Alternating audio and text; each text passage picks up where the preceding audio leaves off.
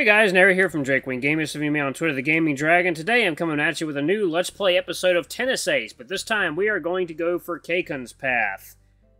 Um, if I don't sound particularly enthused, it's because I had already recorded a Kaken video and found out that my mic had recorded no audio, so I had gone about 20 minutes in without getting any audio whatsoever, so basically I'm just having to rerun through this, so I'm going to try and be as enthusiastic as I can for you guys, but it's like 12.04 in the morning, and honestly I want to get this video done so I can kind of, you know, decompress and kick back.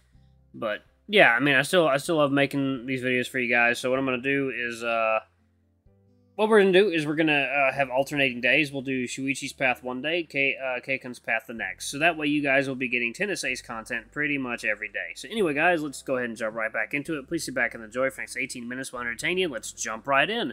Alarm chain, you're up, and let's go. Alright, what should I do? This I'm picking up in the path with a path split for the first time. Tag along with Kaken. Well, he's already here anyway. Plus, it wouldn't hurt to get to know him better.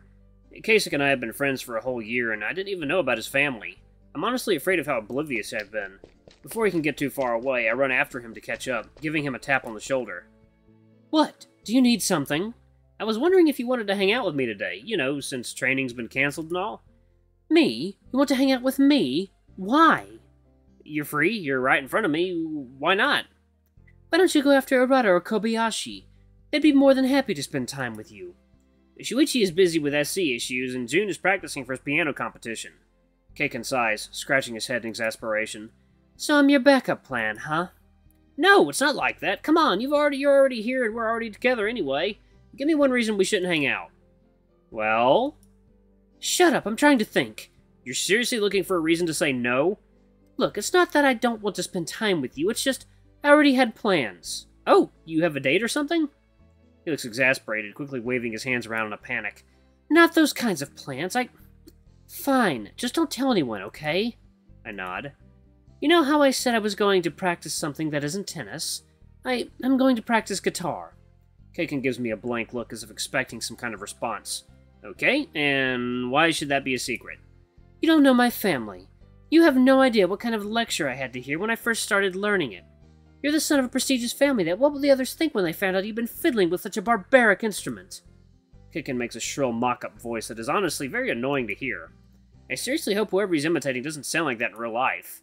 Why would it be embarrassing? I'm sure if people knew about it, some people might actually approach you to chat. Like I said, you don't know my family. My grandmother in particular is a real piece of work. I don't get to do anything I want to do because, er because everything and everyone is beneath me. Plus, you've got to admit, I'm not the kind of guy you'd imagine playing guitar, right? He strikes a guitar holding pose and starts doing an air guitar as if to prove a point. Maybe, but up until yesterday, I didn't think of you as a singer either. I, I'm not a singer. I have to admit, the idea of watching Kaken playing guitar is at least a little bit interesting. I really want to see that because, like he said, I just can't picture it in my head. Can I come watch? If you don't mind, of course. What? I... Fine. Does that mean I get to visit your house? Well, that's where I'm going to practice after all. My car is already waiting for me outside, so we should hurry. You're having a chauffeur pick you up? Yeah, my house is kind of far away, so we really can't walk there. Oh, that's right. I sometimes forget you're filthy rich.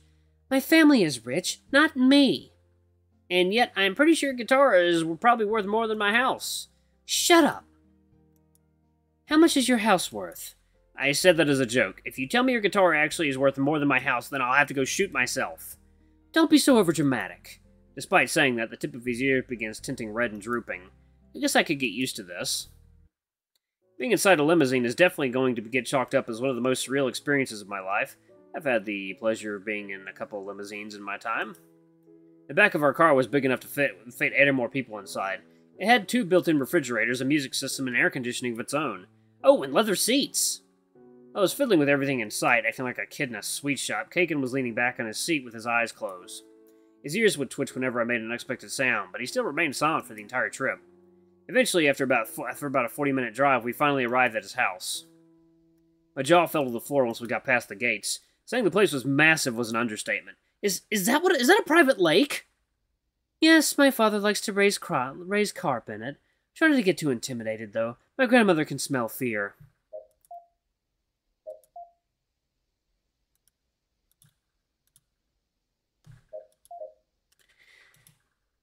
You're not exactly painting her in a positive light, you know. I couldn't if I tried. Let's just hope she decided to visit one of her awful friends today. Ooh. Yep, pretty fox. Butler Fox. Upon getting out of the limo, a fox butler came to our car and opened the door for Kaken, bowing to him. He had a few gray furs here and there, but other than that, his appearance was completely pristine. I guess even butlers are well kept. Greetings, young master. I was informed you'd be bringing a guest. It's a pleasure to make your acquaintance, sir. Oh, uh, likewise.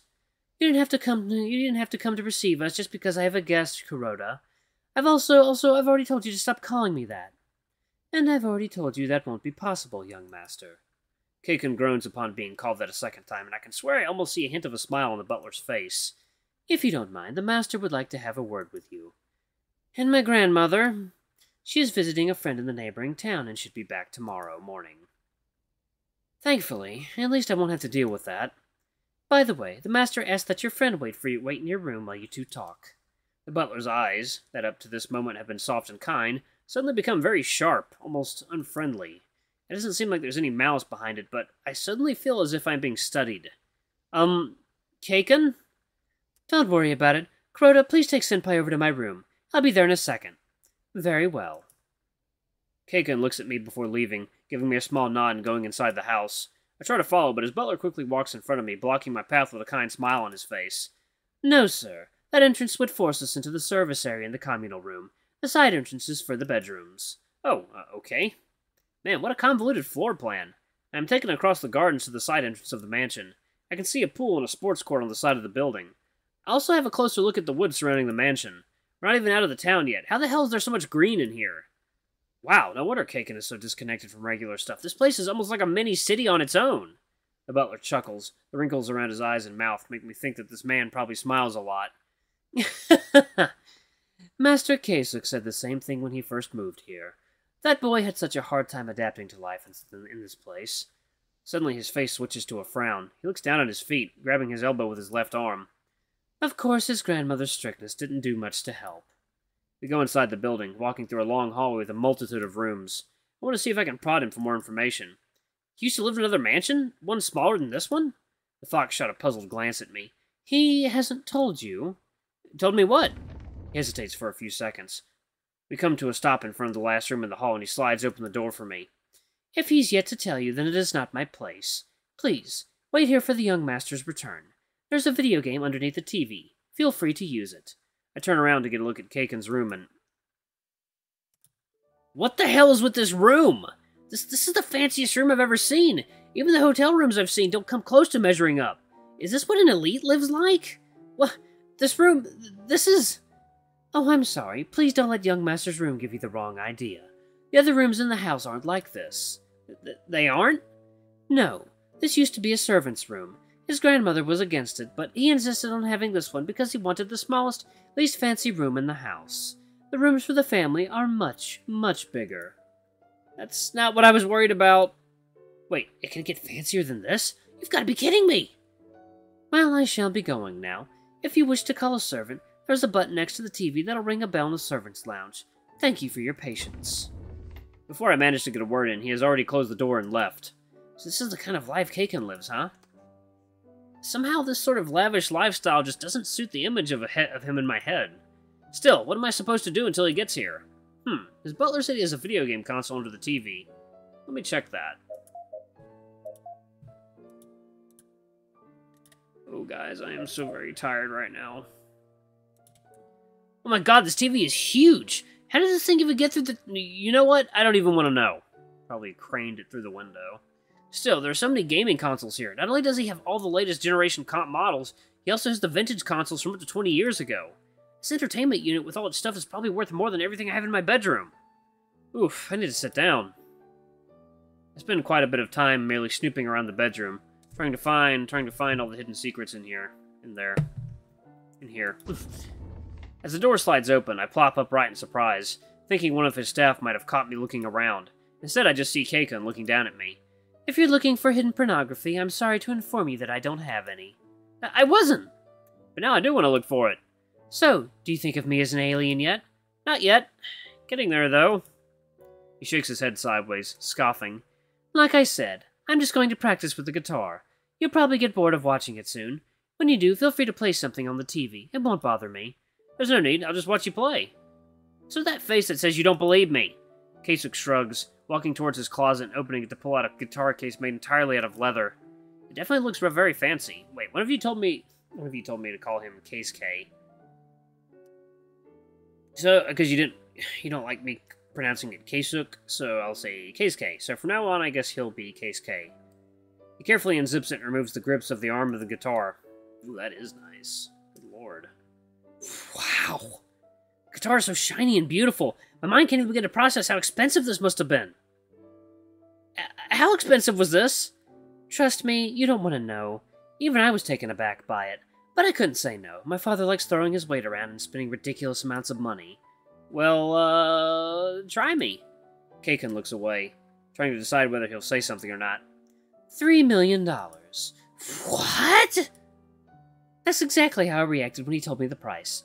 Oh, don't worry, this was a bargain. It only cost three million dollars. I was furious, but I couldn't quite say no. My grandmother was pissed too, but her reasons were quite different. What? I. Uh, how? Wow. I know you said you were rich, but it didn't actually seem real until now. Yeah, I understand. Honestly, it's pretty hard to wrap your head around it. I didn't realize how far removed I was from the general society until you clued me into it. Tell me about it. By the way, your butler said something about you also having a hard time adapting when you first moved here. When I asked him about it, he said it wasn't up to him to say. Oh, he did, did he? Didn't he? It's just... Kaken sighs, scratching his forehead. He puts his guitar back in his case and sits down on a chair. I, I wasn't actually born here. Eighteen years ago, my father seduced one of his servants. I'm the product of that relationship. Wait, so you're... A bastard, yeah. Once it was found out that my mom was pregnant, she was fired and sent away. I didn't even know I had a father until I was six or so, when his lackey showed up at our door. They... I... No. I'm sorry. I don't want to talk about this anymore. I tried to think of any words I could say, something to distract him or maybe make him feel better. That's a nice image. That's a good thumbnail right there. Without another word, Kaken grabs his guitar again. He plugs it into an amp next to his bed, stroking the guitar's body with visible affection, and his fingers touch the strings. Then again, my jaw hits the floor. Once again, my jaw hits the floor. When he said that he was practicing guitar, I fully expected him to be a complete novice who could barely make some semblance of a sound come out of the strings. This? This is incredible. His fingers stroke the strings ex expertly, his other hand making the chords so fast that I honestly can't believe it. He doesn't just play guitar, he absolutely kills it. And as I start getting into the groove, getting into the groove to the sound of his guitar, he abruptly stops.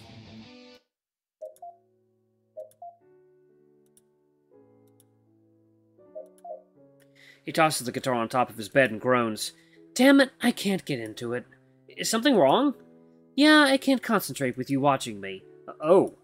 I'm sorry, if you want me to go, don't be stupid, there's no need for that, and it's not your fault. Plus, I'm just being a crappy host, inviting you to my place and just ignoring you to play with my guitar. I told you I don't mind, you can practice if you want. Maybe, but I'm not really in the mood right now. Do you want to do something? Uh... Hmm, we have a pool, if you're interested. Or we could also stay in my room and play video games. I don't have a swimsuit, so I'll pass on the pool. I wouldn't mind playing some games, though. Is there a specific console you want to play? If not, I'll just use the one that's plugged in right now. Nah, you can use that one. I never touched the new generation console anyway. Alright. After losing every single race I played against Kaken, I'm almost ready to give up on it. Seriously, I haven't managed to beat him a single time, and I'm good at racing games. Heh, I guess today just wasn't your day. I have an uncomfortable urge to slap that grin off his face. Someone knocks on the door, and before either of us has time to answer it, they slide it open. Oh, look, it's Danny DeVito as a hare. I'm the trash man. Another white hare, an older one, stands in front of the door, smiling. Kasuk, I'm coming in. What do you want, father? Whoa, it's like the air around Kaken just completely changed all of a sudden. Why are you looking so serious? There's so much hidden hostility in his eyes, it's making me uncomfortable. The older man, on the other hand, was smiling from ear to ear. Well, it's just that you haven't done as I asked. I was coming here to check if there was any reason for that. I don't want to. Is that reason enough for you? Why should I introduce you to my friends? Um, what? Kasuk's father walks up to me, grabbing my hand and shaking it enthusiastically. I'm still too stupefied by what's happening to actually reciprocate. I remember how I was called away when we arrived. Father wanted to chastise me for not informing him that I was bringing a guest. Of course, he wasn't the least bit interested in meeting you until I told him who you were. He's probably trying to win you over so you'll pick our company as a sponsor when you go pro. The elder hare backs away, flinching. Now, Kasuk, that is a little unfair. I'm just interested in meeting your friends. As if I'd believe that. You have never been interested in me or the activities that I partake in. Why should I believe you when you say you want to meet my friends? It's obvious that you're looking to gain something from this. Now, are we done here? Kasich's father shifts around uncomfortably. His face scrunches up into a sad expression for a second. Kasich shows him no quarter, staring the man down without an ounce of compassion. I'm... I'm not just imagining things, right? This is actually a heavy mood, right? The older man clears his throat, scratching the back of his neck and looking over at me again, flashing me a wry smile. I guess I better leave you two for now. It was a pleasure to make your acquaintance. I do hope you'll visit us more often. It's been so long since Kasuk's had friends over. Yes, and you know exactly why. His father sheepishly walks away, leaving the room. We are left alone once again. Kasich sighs, rubbing his forehead with his hands. Talking to him is such a headache. Kaken, I don't mean to pry, but you were a bit harsh on your father. Like I said, you don't know my family. Up until a couple years ago, he never showed an inkling of interest in me. Whenever we talk, he was dry and to the point. I spent years trying to gain his affection, but... He groans again. I don't want to talk about this right now. I so don't want to talk about this right now.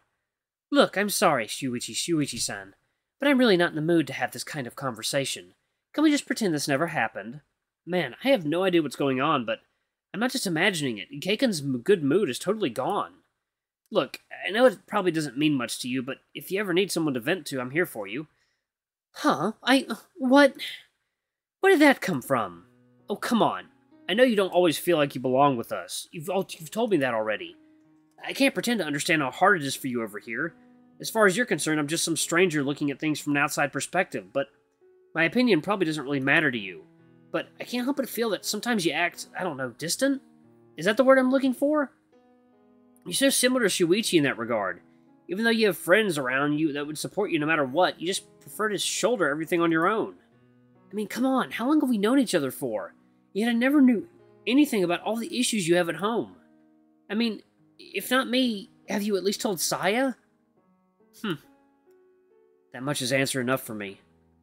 See, we've been here for you all this time, and yet you never bothered to look our way for support. I can understand if you don't want to ask, if you don't know how to ask, but we're your friends. I know you've you've had issues with this kind of thing in the past, but we're not just along for the ride.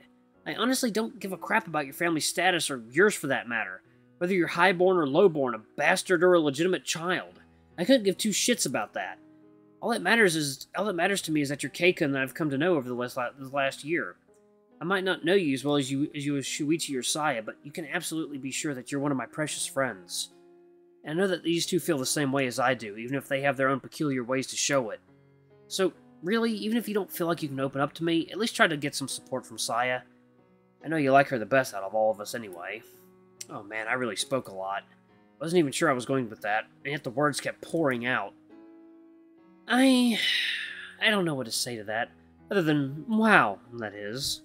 Alright guys, I'm gonna go ahead and pause it right here. I am tired. I don't have thoughts right now. Okay, alright guys, thank you so much for watching. Don't forget to like, comment, subscribe, ring that notification bell, leave a super thanks or tip if you can, it always helps. Until the next video, I love you all. I'm gonna go get some sleep. Bye-bye!